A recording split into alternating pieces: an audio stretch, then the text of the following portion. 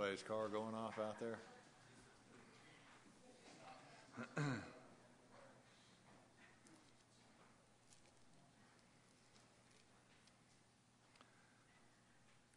Blessed is he whose transgression is forgiven, whose sin is covered. Blessed. People talk about being blessed a lot, don't they? Unbelievers talk about being blessed. And uh, I fear that when most folks talk about being blessed, the, what they're referring to as blessings are really going to end up being judgments. The word blessed means happy. And uh, unbelievers find their happiness in their favorable circumstances. And they come to the conclusion that because they're experiencing a favorable circumstance, that therefore they have favor with God. And then they talk about being blessed. That's not what it is to be blessed. You see, for the child of God, everything is a blessing. Everything. Good or bad, indifferent. It's all sent by a loving Heavenly Father for our good. Here's the greatest blessing of all, isn't it? Blessed is the man whose sin. Transgression is forgiven, sin is covered. Blessed is the man unto whom the Lord imputeth not iniquity, and in whose spirit there is no guile. How we hope the Lord will be pleased to bless us this morning with his presence. What a blessing it is to be here. Let's stand together. Tom's going to come lead us in the hymn on the back of your bulletin. Okay.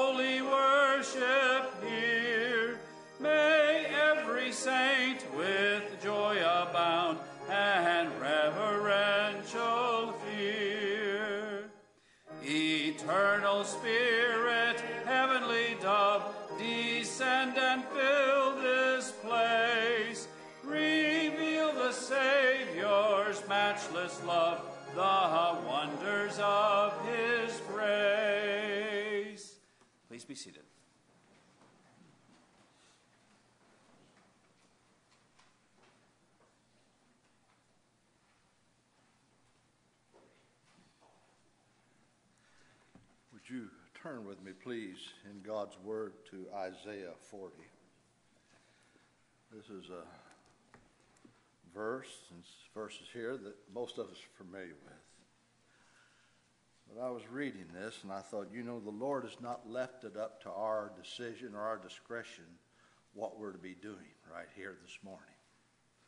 This is His call to worship, and He tells us this is what we're to do. And uh, I wish to God it was done in more places this very morning. And the Lord speaking to Isaiah, the gospel preacher. In verse 1, he says, Comfort ye, comfort ye, my people saith your God. Speak ye comfortably to Jerusalem, that's the church, and cry unto her. And here's Isaiah, here's what you're to tell her. This is what I want you to tell the church that her warfare is accomplished,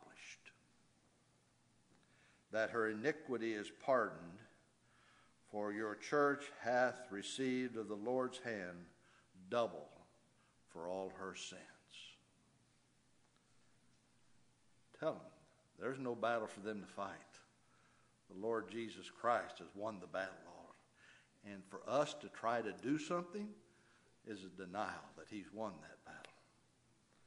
And we have received not only forgiveness of sin, but as Augustus Toplady said, we've received the righteousness of the Lord Jesus Christ. That's what you're to tell these people. And if God enables our brother and the gospel preacher anywhere to preach that, his people will they'll be comforted. The voice of him that crieth in the wilderness, prepare ye the way of the Lord, make straight in the desert a highway for our God. Every valley shall be exalted, and every mountain and hill shall be made low, and the crooked shall be made straight, and the rough places plain. You know, I was reading that. I think Greg, you mentioned one time. Brother Henry says we don't know. We don't need to go exposing all the lies in religion. Just lay the ruler down, and you'll see the lies. And the glory of the Lord, that's why we're here, shall be revealed, and all flesh shall see it together. For the mouth of the Lord hath spoken it. And the voice said, Isaiah, what, what, what am I to do? Cry. And he said, What shall I cry? The Lord tells him, Tell him this, that all flesh is grass, and that the goodliness thereof is as the flower of the field. The grass withereth, the flower fadeth, because the Spirit of the Lord bloweth upon it. Surely the people, that's us, we're nothing but grass. And the grass wither, grass withereth, the flower fadeth, but the word of our God shall stand forever. I was thinking, uh, wouldn't it be, uh, never been, but I wonder how many of our so called seminaries or cemeteries, as some will declare, teach classes, this is what you need to do. Tell them their warfare is accomplished. Tell them their sins been forgiven and God's received, not only forgiven their sins, but He's given them the righteousness of Christ.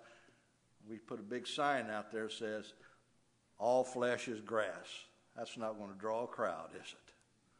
That's not what they're going to tell them, but that's what the Lord has commanded. I want to close with a. I'm not, like I said, I'm not a very bright man, but I, I like things simple. And I remember Brother Charles Pennington said there's three things he's never been able to do when he preached. He said, I've never been able to preach Christ too high we try to exalt him, but our words, they just, they just seem to fail, don't they? The second thing, he said, I've never been able to preach man too low. Whatever we hear about ourselves today, I guarantee you we're worse than that. And the last, oh, a, it stirs my heart to even say it. He said, I've never been able to preach grace too free. God's grace is free to his people. It's a gift of God. Nothing we can do to earn it but plead with him. And he gives it freely because he's done all the work. It's his to give. And I pray the Lord will bless us this next hour. Please join me as we try to pray. Lord, we confess that unless you enable us, we can't even pray. We can't worship you. We can't glorify you. We are totally dependent, Lord, on your Spirit upon us to enable us to do that. But it is our heart's desire, a desire that you put there. Oh, how we pray for our brother and your gospel preachers, wherever they might be in front of your people this morning, that you put your Spirit upon him and that you speak through our brother Greg and give him the ability to declare Christ and his victory in salvation. And as your people, to see that we are but grass and that we all our salvation is in Christ and he is our hope And pray that you would crush any hope that we might have outside of Christ. And that we would be enable us to give you all, all of the glory. We ask that Christ would take this prayer and that he, he alone would make it acceptable to our God the Father. In his name, amen.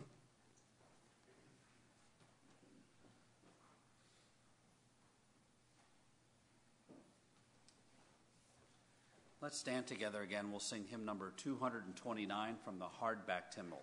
229.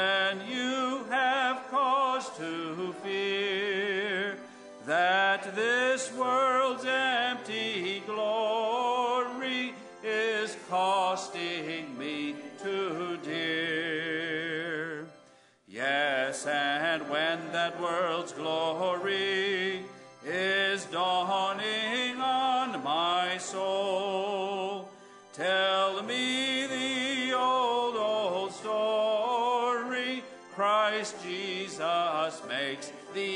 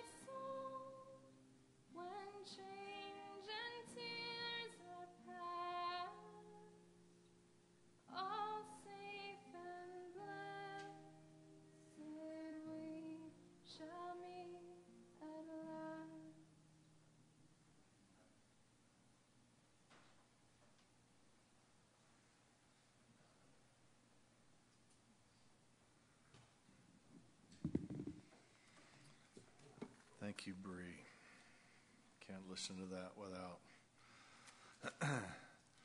crying in my heart, Lord, help thy mine unbelief. We get so disquieted over our circumstances, don't we? We savorous the things of men rather than the things of God. That the Lord would enable us in this hour to rest in the Lord Jesus Christ, to believe on him. We open your Bibles with me to the book of Revelation, chapter 2, please.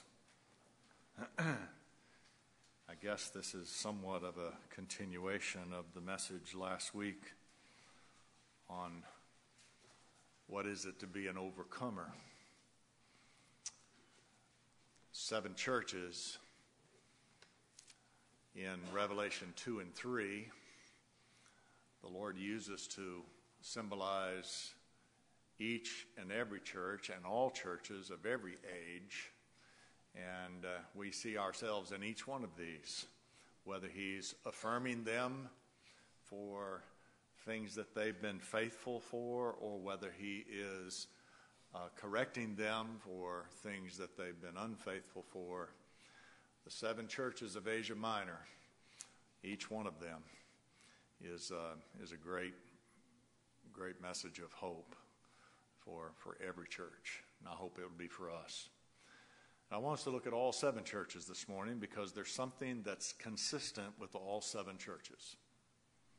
And that is that the Lord says to all seven churches, Let him who has an ear hear what the Spirit saith unto the churches.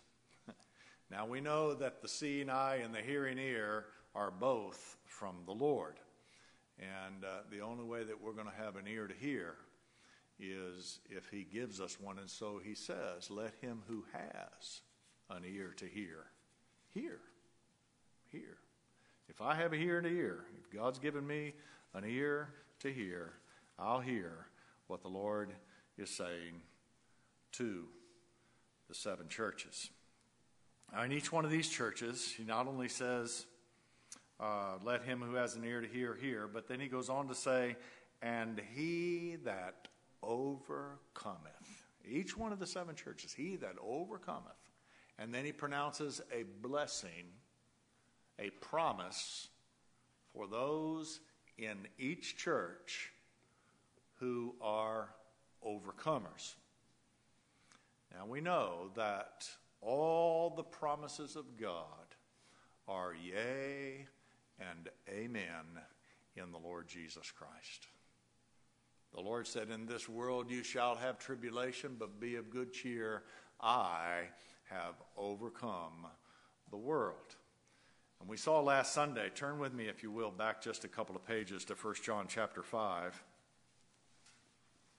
I remind you of this, of this passage, 1 John chapter 5, verse 4. For whatsoever is born of God overcometh the world. And this is the victory. Now, I don't like uh, giving you words from the original language because I never want you to think you've got to know Greek in order to understand the Bible. But the word overcomer and the word victory is the same word in this verse. And it's the word Nike. Nike. N I K E. Nike. That's where that, that's where that word comes from. So it means victory. How am I going to have the victory over sin? How am I going to have any hope that the promises that God gave to the churches are for me? Well, first of all, we have to be born of God. And the Lord said, Whatsoever is born of God overcometh the world. And this is the victory that overcometh the world, even our faith. Faith is the gift that God gives in the new birth to believe on the Lord Jesus Christ. And he makes that clear in the next verse. Who is he that overcometh the world? But he that believeth that Jesus is the Son of God. they are the ones who overcome the world. If you like me, I know sometimes you feel like you're being overcome by the world.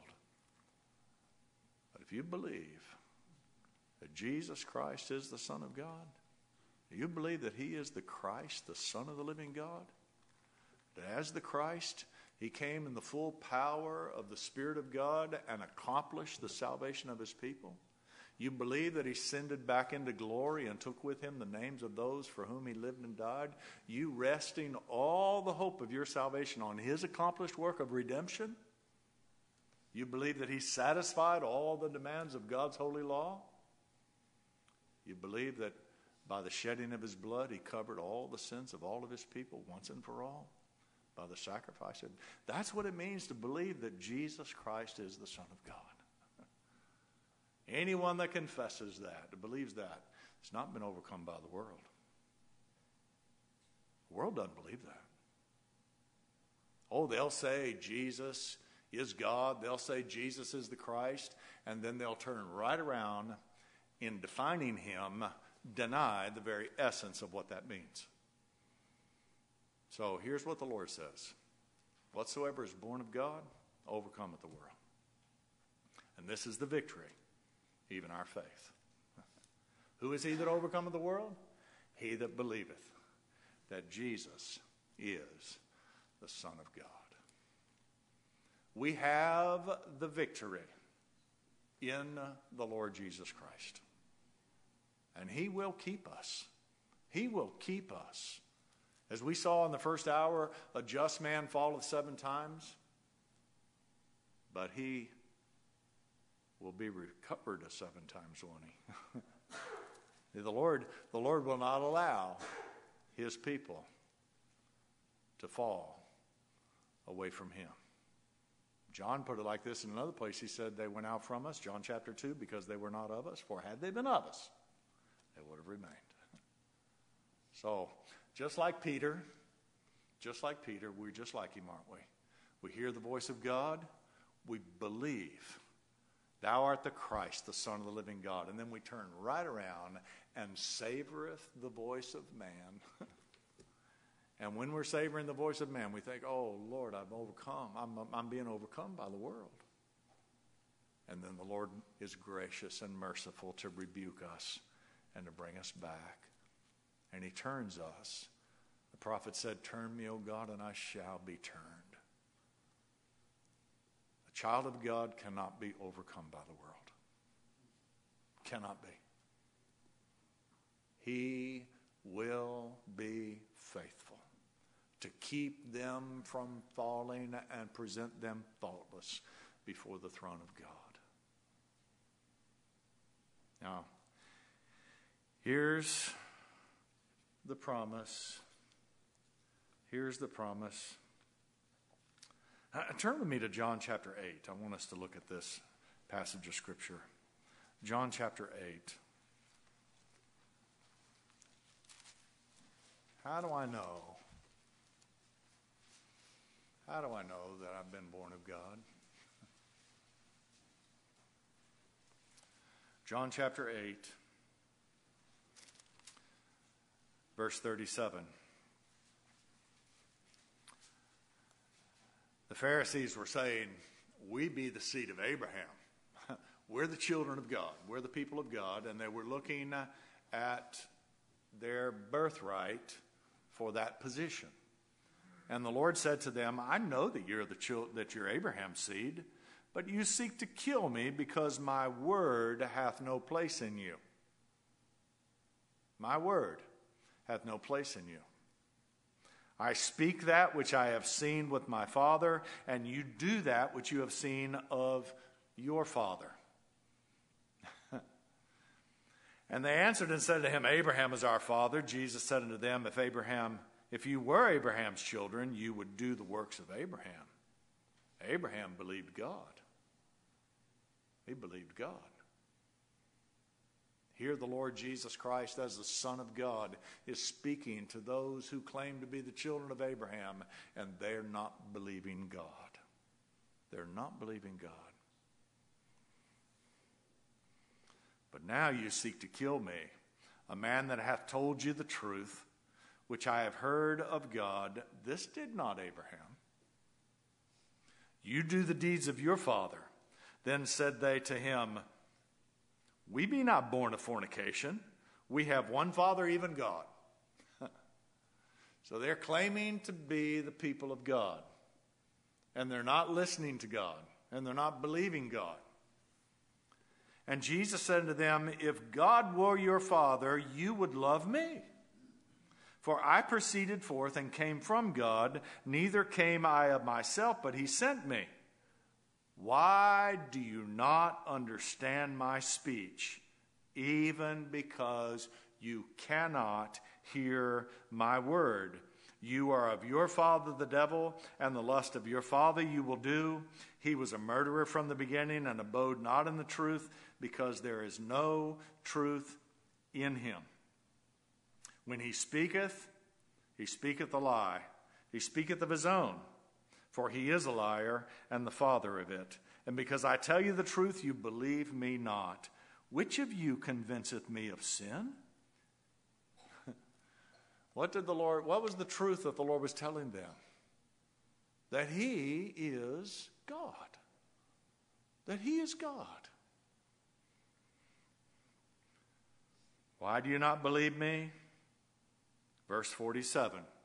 Now, here's how you can evaluate for yourself, how I can evaluate for myself, whether we be the children of God. He that is of God heareth God's word. You therefore hear them not, because you are not of God.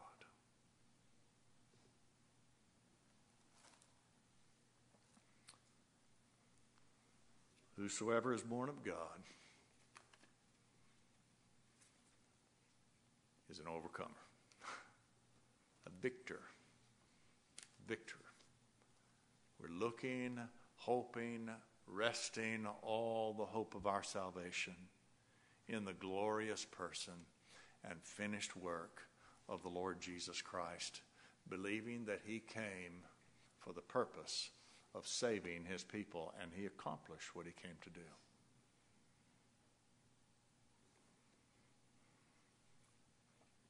He that hath an ear, do you have an ear? God giving you an ear for his word? Do you believe him? He that hath an ear, let him hear what the Spirit saith unto the churches. You see, the Spirit of God's only speaking to the church. The Spirit of God's not speaking to the world. Natural man cannot receive the things of the Spirit, they're spiritually discerned. He cannot know them, he cannot believe them. Why? Because he's not of God. he's not of God. Now, the Lord has given us seven precious promises to those who are of God, those who are overcomers in Christ, those who believe that Jesus is the Christ, the Son of the living God. And what precious promises they are.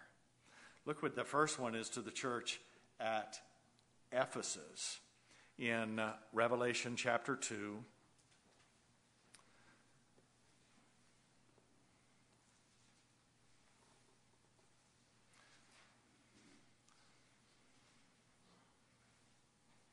Interesting in verse 6 that the Lord rebukes the church at Ephesus because they had in their church those who believed in the doctrine of the Nicolaitans. Now, the name Nicholas means conqueror. Conqueror. And what was being practiced in the church of Ephesus is what's being practiced in a lot of churches in most religious organizations today. Men who believe themselves to be conquerors of the people. That's what it means, conquerors of the people. It's the clergy laity uh, uh, uh, scenario that everybody loves. The, the, the laity love it because it puts all the responsibility for their salvation on the clergy. The clergy love it because it gives them power over the laity. And God says, I hate it. I hate it. They're not looking to my son as the victor. They're not looking to my son for their being conquerors. They're looking to a man. They've set up a conqueror over the people. He that hath an ear, verse 7, let him hear what the Spirit saith unto the churches. To him that overcometh, will I give to eat the tree of life which is in the midst of the paradise of God. Now turn with me to Genesis chapter 2. We're going to have to move quickly through some of these, and I can tell right now we're probably not going to get through all seven of these promises. But Genesis chapter 2, verse 9. Genesis chapter 2, verse 9. And out of the ground made the Lord God to grow every tree that is pleasant to the sight and good for food, the tree of life, also in the midst of the garden, and the tree of the knowledge of good and evil. Now, the tree of the knowledge of good and evil is the tree of free will. The tree of life is the Lord Jesus Christ. And so, in the midst of the garden, amongst all these beautiful trees. There are two trees the tree of life and the tree of the knowledge of good and evil. God said, Don't eat of the tree of the knowledge of good and evil. Remember when Satan said, Did God say you should not eat the tree? No, God didn't say we should not eat the trees. We're free to eat of any of the trees except for that one. Except for that one, and that's the one Eve took from. Look at, uh, look at verse 10. And a river went out of Eden to water the garden, and from thence it was parted and became into four heads. So here we have the tree of life planted by a river in the garden.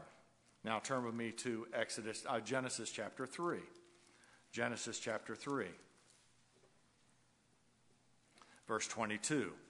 And the Lord God said, Behold, the man is become as one of us, to know good and evil. And now, lest he put forth his hand and take also of the tree of life and eat and live forever. Therefore, the Lord God sent him forth from the Garden of Eden to till the ground from whence he was taken. So he drove out the man, and he placed at the east of the Garden of Eden cherubims and a flaming sword which turned every way to keep the way of the tree of life. So, this tree of life was eternal life. Eating of this tree was, what was, was a picture of, of, ha- of being found in Christ and living forever. And the Lord said, if we allow man in his fallen state to partake of the tree of life now, he's going to live forever as a sinner. And so God mercifully put him out of the garden and guarded the east gate of the garden with cherubims and a flaming sword, lest the man be able to come back into the garden and eat of the tree of life and live forever separated from God. Now, what's God saying to me and you? Death is a mercy. it's a mercy for the child of God. Our temporal lives in this world, you see, if we, if we were able to live forever, we'd live in this state in which we're in. Who wants that? Who wants that? Michael and I were talking this morning. He was telling me he had a grandmother that was 104, something like that. She died, and, and she was telling Michael at the end of her life, she said, You know, the sad thing about being as old as I am is that I've watched, I've buried my children, my grandchildren, and uh, Who'd want to live forever? The Lord put Adam out of the garden so that he could physically die. And in dying physically, turn with me to Revelation chapter 22. Revelation chapter 22. Look at verse 1. And he showed me a pure river of water of life. That's the same river that we found in the garden this is a pure river of the water of life, clear as crystal, proceeding out of the throne of God and of the Lamb. And in the midst of the street of it, and on each side of the river, was there the tree of life, which bare twelve manners of fruits, and yielded her fruit every month. And the leaves of the tree were for the healing of the nations. oh, we're going to. You have fruit trees? You have to wait all year to get one crop, don't you? And then you got more than you can handle with you know, all at one time. This tree of life has a different fruit on it every month, all year round. You never get tired. It's be the leaves of this fruit are for the healing of the nations. This is the tree of eternal life. This is a picture of the Lord Jesus Christ. You and I have to die physically in order for us to be overcomers. I will let him who has an ear hear what the Spirit saith unto the churches. He that overcometh, I will give to eat of the tree of life. The tree of life. We eat symbolically now. Spiritually, we eat. The Lord said, if you, if you take, now if you eat not of my flesh and drink not of my blood, it's because there's no life in you. We symbolize that in the Lord's table when we take the bread and the wine. Spiritually, we're, we're trusting in His body and His life lived in His body for the hope of our righteousness. We're trusting in His shed blood for the hope of our justification before God, for the covering of our sin. But all that's spiritual. All that's just, that's, we're looking through a glass dimly now, aren't we? But then, but then we'll see Him face to face.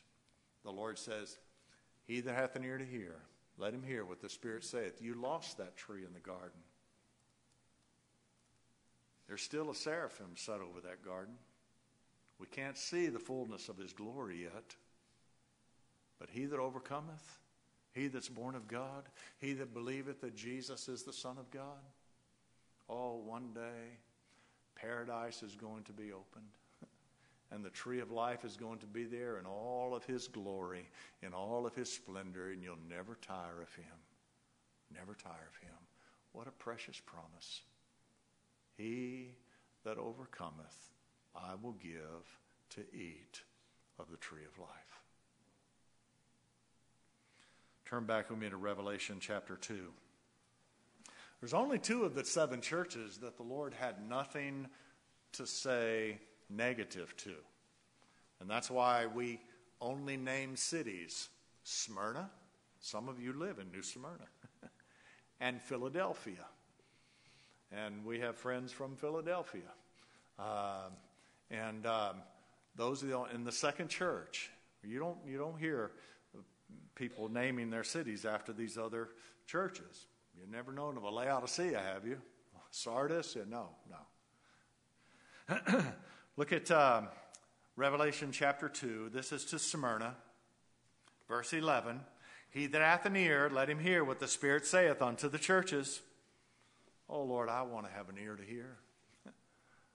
I want, I want to be an overcomer.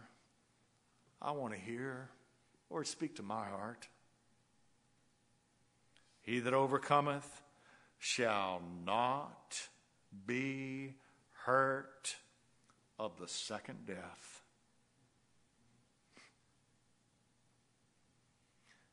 And most folks are worried about the first death. And I guess in our flesh, we, you know, we, we, we do. We are concerned about the pain of death, uh, the uncertainty of death, the experience of death, what's going to happen. Oh, but brethren and friends, that's not what we need to be concerned about. It's the second death. First death's nothing. First death's nothing. It's the second death.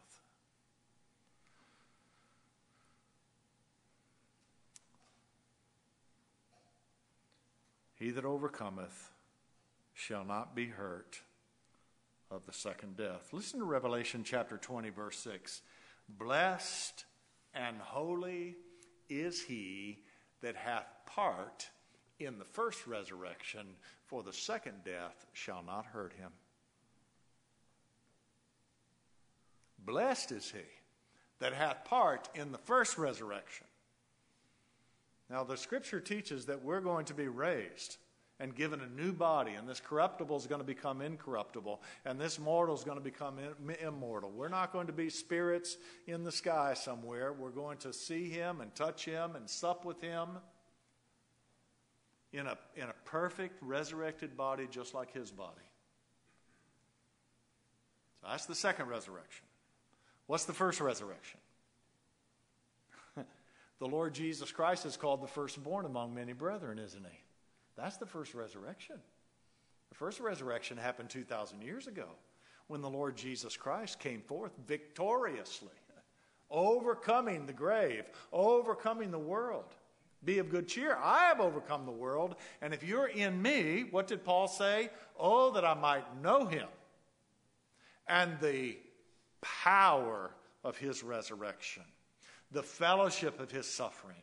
When Christ died on the cross, Lord, I need to know that I was in you, that I died in you, that when you were raised from the dead, that I was raised in you. How can I know that? I'm resting all my hope on Him. I've got no place else to go. I've got no place else to go. The crucifixion of the Lord Jesus Christ is all the hope of my justification before God. The resurrection of the Lord Jesus Christ is all the hope of my being an overcomer and Paul said that I might know him, the power of his resurrection. And he that hath part in the first resurrection, the second death shall not hurt him. When God separates the sheep from the goats and casts all unbelievers with Satan into the lake of fire, that's the second death. We don't have to worry about the second death if we have part in the first resurrection. And the Lord said, He that hath an ear to hear, hear what the Spirit saith unto the churches.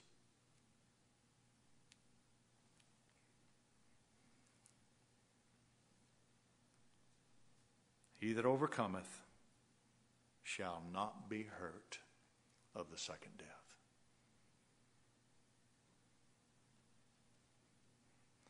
May God be pleased to cause us to be more concerned about the second death than the first. The third one is the church of Pergamos. And they too had the doctrine of the Nicolaitans. They too had men in their church that pretended to have power over the people, pretended to be, to be more holy. They had the holier than thou group. That's what, that's what clergy do, isn't it? They don't, they don't preach as a sinner. They put men under their authority and under the law. And, and uh, here's, the, here's the church at Pergamos. Look at verse 17. He that hath an ear, let him hear what the Spirit saith unto the churches. To him that overcometh, will I give to eat the hidden manna and will give him a white stone, and in the stone a new name written. Now, you know all this is symbolic language. It's symbolic language. Man, what did the Israelites say when they had to eat manna for breakfast and manna for lunch and manna for dinner? Every day, manna, manna, manna for 40 years. What'd they say? We loathe this light bread. Give us something else. And the Lord sent them enough meat to make them vomit. They weren't satisfied with the manna. Are you? That manna is Christ. Moses gave you not that bread in the wilderness. My Father gave that unto you. I am the bread of life. That sweet like honey, that white holiness, that, that, that abundance for, for your daily sustenance. Give us this day our daily bread they that overcometh, I will give to eat of the hidden manna. This manna is not seen by the world, it's not believed on by the world. They're not hoping in Christ for their salvation, they're not feeding on Him. They're feeding on the dead carcasses of the flesh and drinking from the broken cisterns of polluted waters. They don't know anything about the river that's crystal clear. They that overcometh, I will give to eat of the hidden manna. Now I know we drink, we eat. You get food poisoning, it, it's not a good experience, is it? You ever get food poisoning spiritually? You do, don't you? Drink something that's defiled, you eat something that's defiled, and it just makes you sick, doesn't it? You go back to that manna, don't you? you flee to the manna for your satisfaction and for your hope and for your peace, for your salvation. Now give him white stone. And on that stone, a name will be written. And what would the name? What is the name? Jehovah Tsidkenu the Lord our righteousness. That's what the Lord said. And she shall be called the Lord our righteousness. He's going to put his name on a stone and give it to us. We're going to have his name written on our foreheads and on our hands. It's what the scripture says. What is that symbolic of? All of our thoughts are going to be of him, and all of our works will be to his glory. What a day that'll be. He that overcometh, I will give to eat of the hidden manna, and I will give him a white stone with a new name written on it that no one knows but he himself.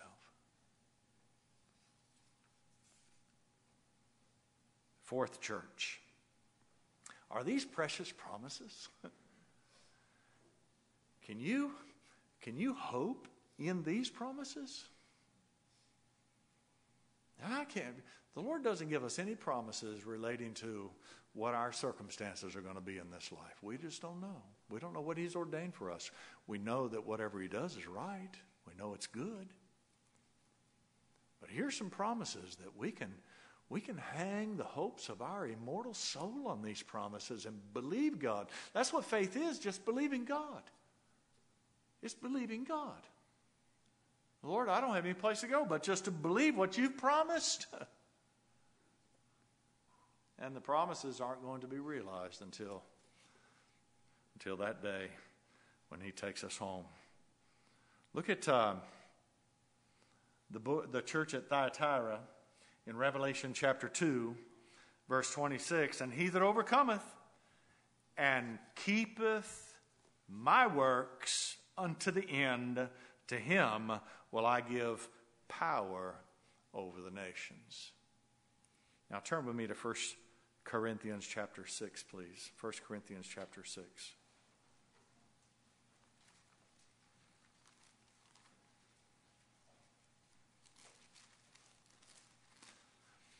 You know, one of the ways you can tell if you're an overcomer, you believe these promises.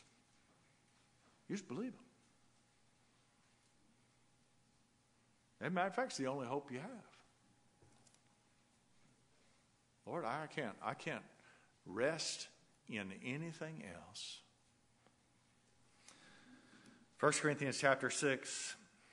Now, the church at Corinth had some, some problems. And there were some cases where, where believer was taking believer to court to settle disputes.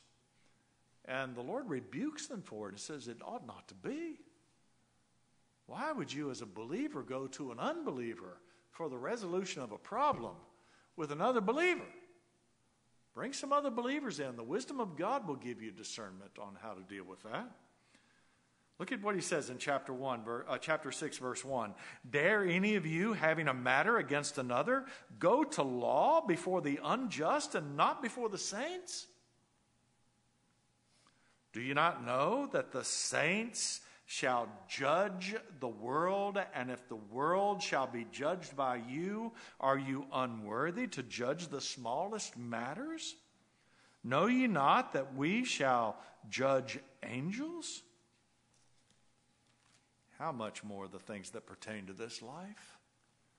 Now, that's what the Lord is saying to the church at Thyatira in verse 26 of our text in Revelation chapter 2. He, would, uh, he that overcometh and keepeth my works unto him will I give power over the nations. Now, the, we could look at several passages where the Lord says, You're going to be sitting on my throne and by virtue of your union with me, you are going to be passing judgment against the world. Now, what's the hope? That I'm going to be sitting on the throne of Christ, participating in that judgment, or whether I'm going to be on the other side being judged. What discerns the difference between those two groups of people? Well, the scripture tells us right here He that overcometh and keepeth my works.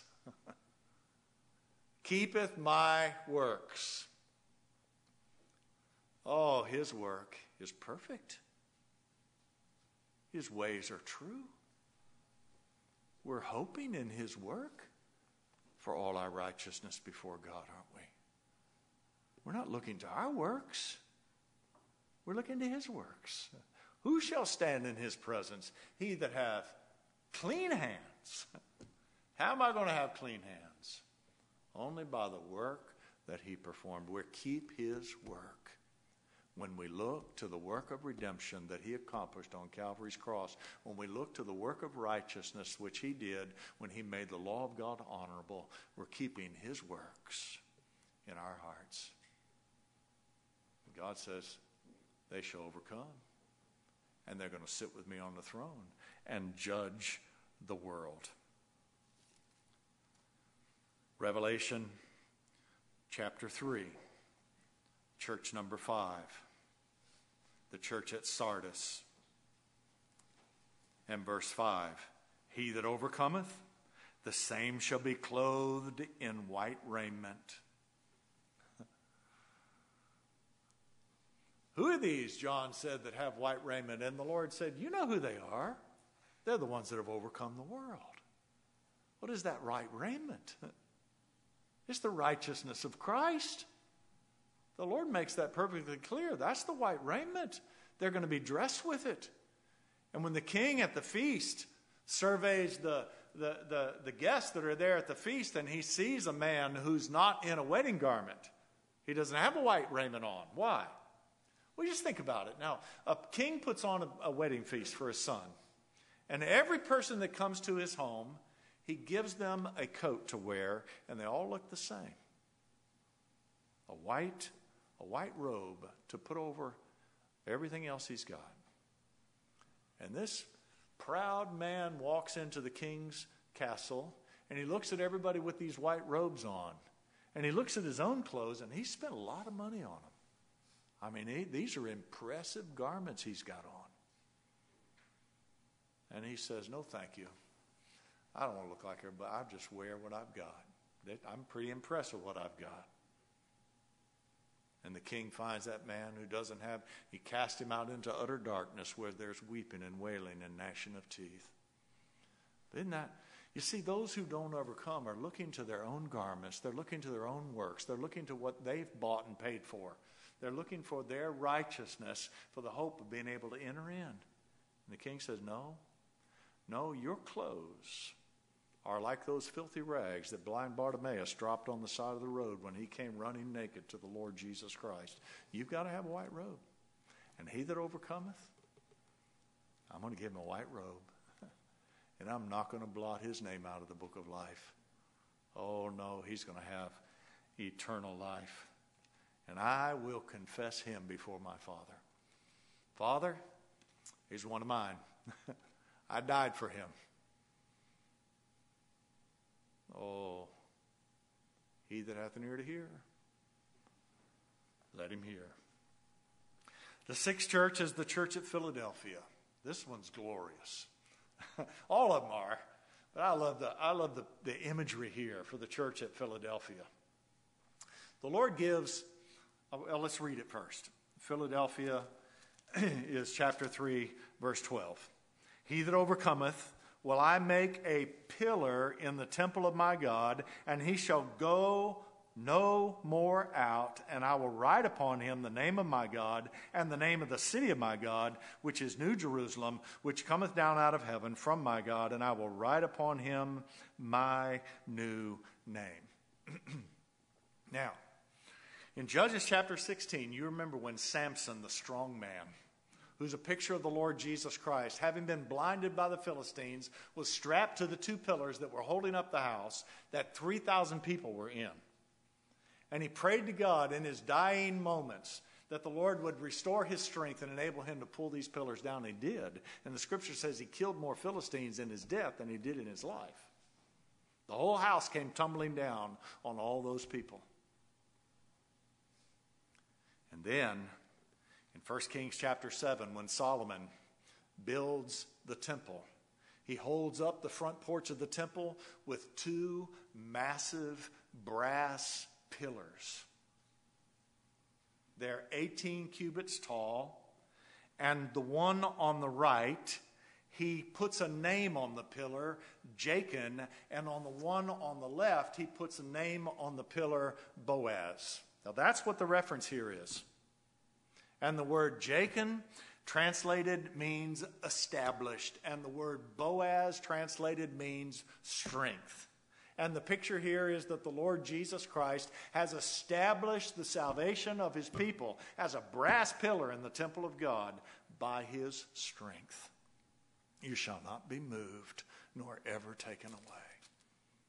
And then in Hebrews chapter 12, God says, That which can be shaken will be shaken, in order that that which cannot be shaken will stand forever.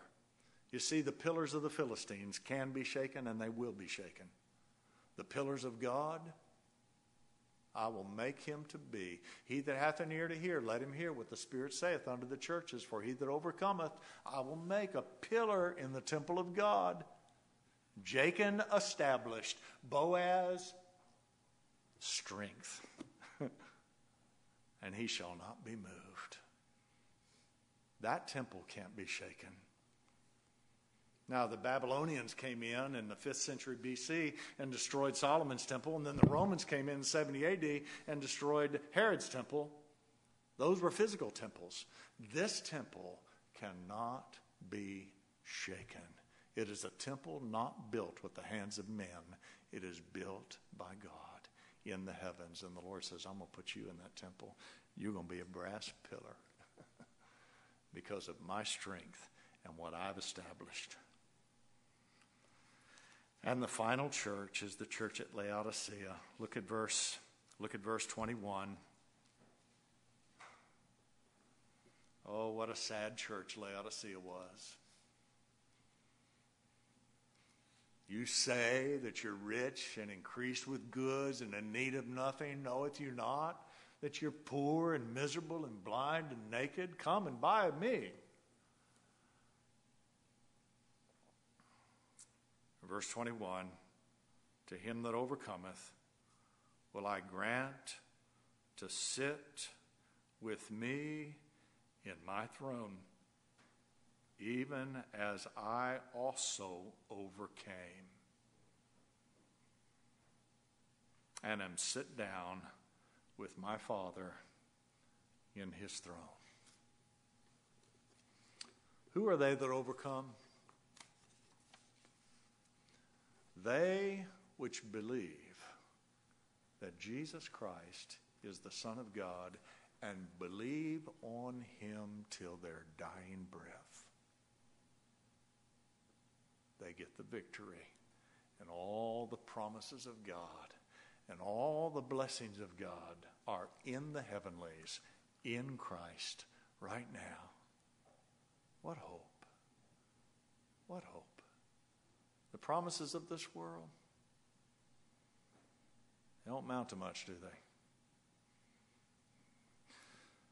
Our God cannot lie. Rest all the hope of your salvation, overcomer, on his promises. Let's pray. Our Heavenly Father,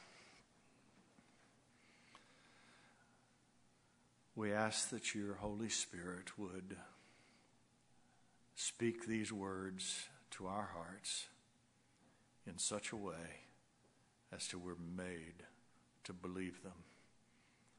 We pray it in Christ's name. Amen.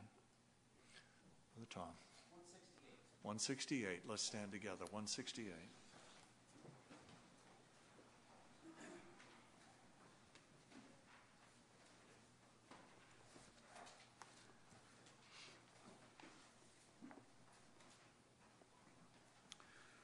Lord, I hear of showers of blessing Thou art scattering full and free, showers the thirsty land refreshing. Let some drops now fall on me, even me, even me. Let thy blessing fall on me. Pass me not, O tender Savior, let me love and cling to thee. I am longing for thy favor, whilst thou art calling,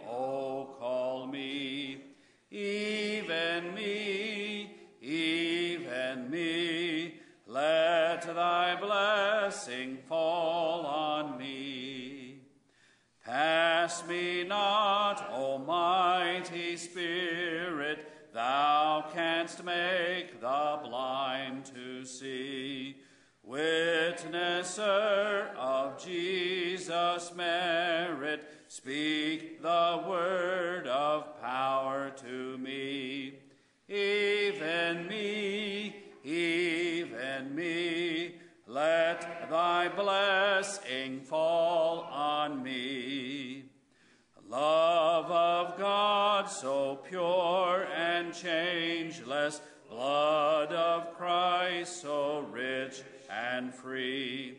Grace of God so strong